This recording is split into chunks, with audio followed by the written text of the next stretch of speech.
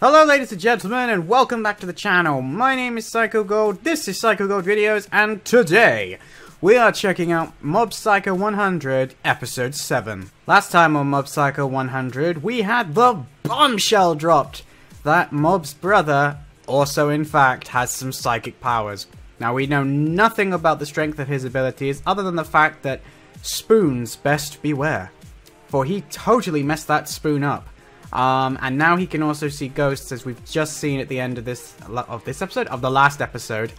Um, it would appear that Dimple is still alive, well, alive, um, and is somehow and is somehow on track to be back in the show, which makes sense considering he's in the opening. I was surprised how quickly he uh, was got rid of, basically, once I realized that he was the guy from the opening. Um, so I'm very curious to see what happens in this episode. I don't have a clue where this episode's going to go. I don't know what direction we're going to head in next. So without further ado, let's just jump straight into it and enjoy the episode and then try and work out what's going on from there. So without further ado, three, two, one, go. Yep, this is literally where the last one ended. Oh, okay. White T Poison. Fair enough. Oh, okay, so now he's got other people who will want to uh, go after him. Interesting. Ah! Bandai! 今まさに切って落とされようとしていた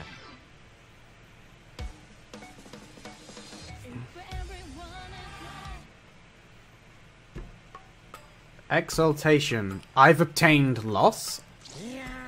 いやー助かったぜ素粒子レベルの状態からなんとか自力で復活したものの霊力が前よりさらに激減しちまったせいでさこのうちに入れなくなっちまってよ Oh, so that's what happened. okay, there's some similarities now between him and his brother. You can see them at last. No, don't listen to him, dude. That's... Yeah, I was gonna say, he wants to possess you. So is he gonna try and teach him? This is an interesting episode. Didn't think he would... Whoa.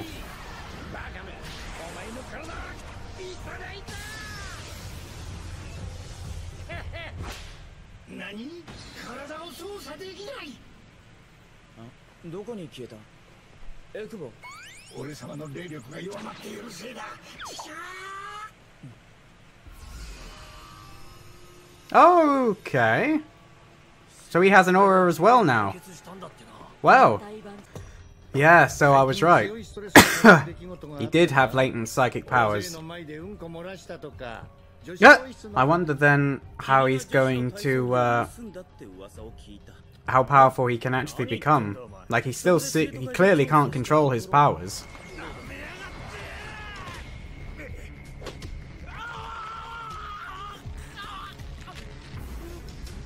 Oh dear.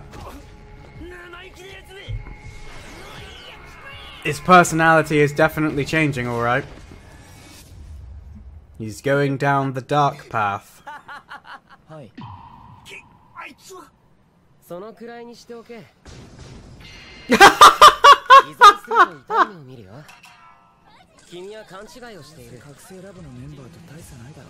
oh, he's completely different.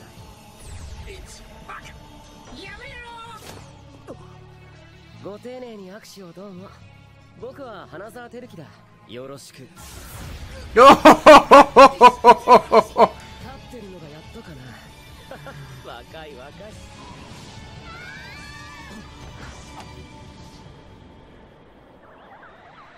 Oh, the gust of wind nearly knocked his uh, wig off. oh, that was nice. Well, the thing is, my my, my boy, is that uh, your brother beat him literally with no effort, so you clearly aren't in your brother's league. At least not yet. But that is very worrying, um, that he's choosing to go down this dark path. In the words of Yoda, once you start, forever will it dominate your destiny. He, he just goes off with anybody who talks to him, doesn't he? 僕には特別に80万円で提供するわ Why would a kid have 800,000 yen? アザラシって気持ち Oh, she's trying to get him to break it. よく I わから see.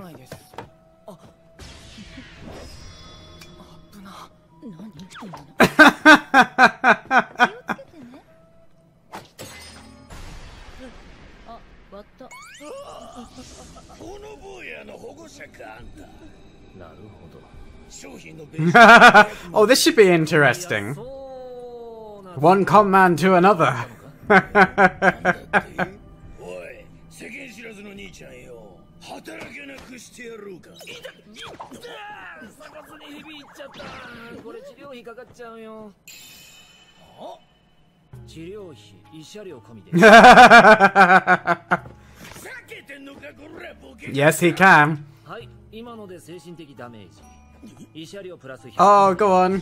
Keep adding up the costs. It's going to equal the same amount as the uh, values, isn't it?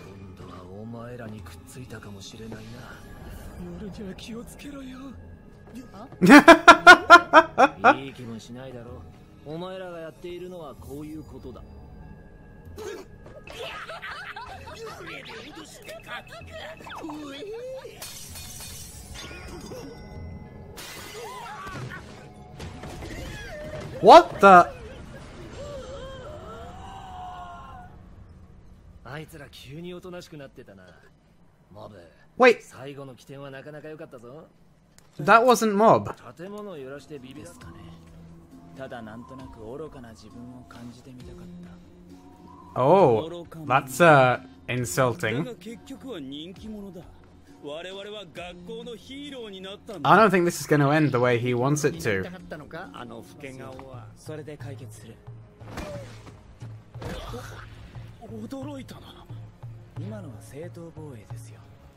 No, it wasn't. That was not self-defense.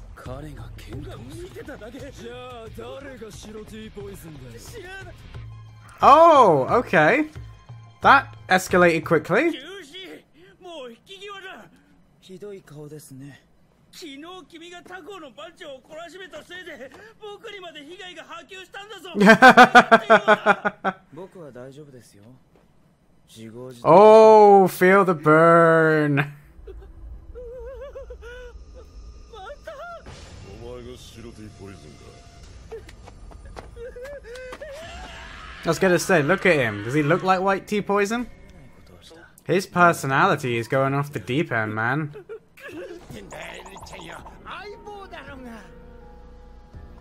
Mm-mm. I wouldn't mess with him, Dimple. Something's properly broken inside of him at the moment.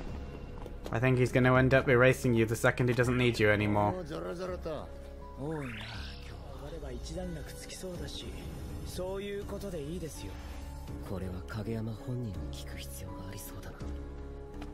Oh, he's gonna tell him. Okay. Oh, it's the adult. Okay.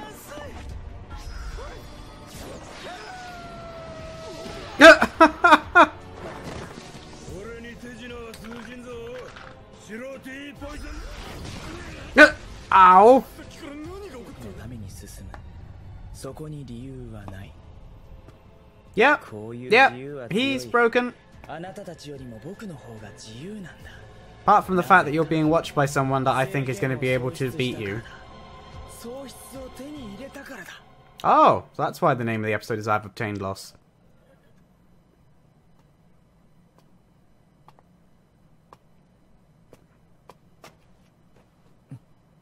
リツ何やってんの Oh. Oh, d- okay. Well, there you go, ladies and gentlemen. That was Mob Psycho 100, episode 7. Also ending on a very big cliffhanger, so the next episode could be very interesting depending on how that episode goes. Um, don't really know. I mean, unless he's gained power redonkulously quick, there's no way he can be as strong as Mob, so and the fact, well, I I wonder if Mob is also going to find out that Dimple is still around and what his reaction to that would be. But never mind that. Mob's going to come to grips with the fact that his brother now has psychic powers and he's not exactly using them in the best way possible.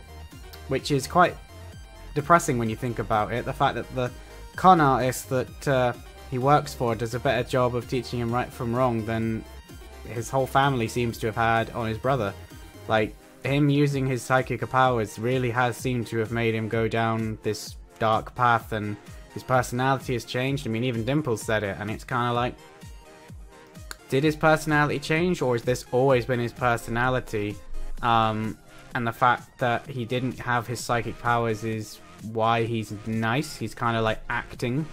Um, and he's always had these darker emotions, but he's never addressed them. And now that his psychic powers have come out in, in his emotions, kind of like Mob, really, when you think about it, Mob doesn't deal with his emotions very well.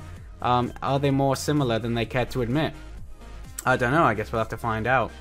The episode itself, though, I thought was really good, seeing him come to grips with his psychic abilities and, you know, he's not really doing anything himself yet. He's kind of having to be merged with Dimple, so it's interesting to see that when the two of them combine, they can become fairly powerful, but they're still not that strong.